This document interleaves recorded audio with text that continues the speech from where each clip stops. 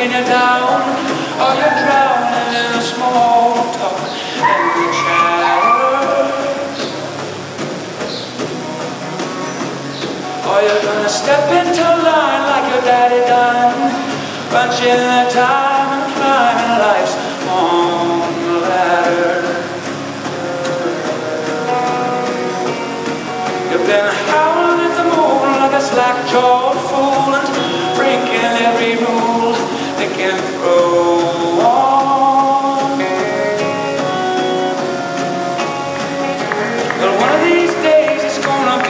Emily Reder's clear comes at 81.872 with Colato Sabata, and she is now qualified to move on to the jump off. Should she make it clear in this short course, she would take over the lead.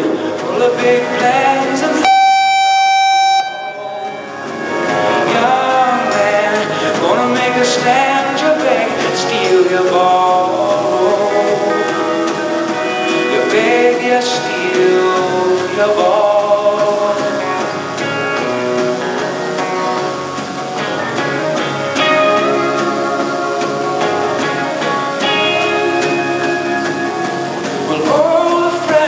in school, they used to be so cool.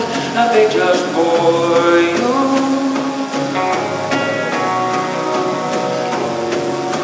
Well, look at them now, already pulling the plow, so quick to take to grain, like someone new.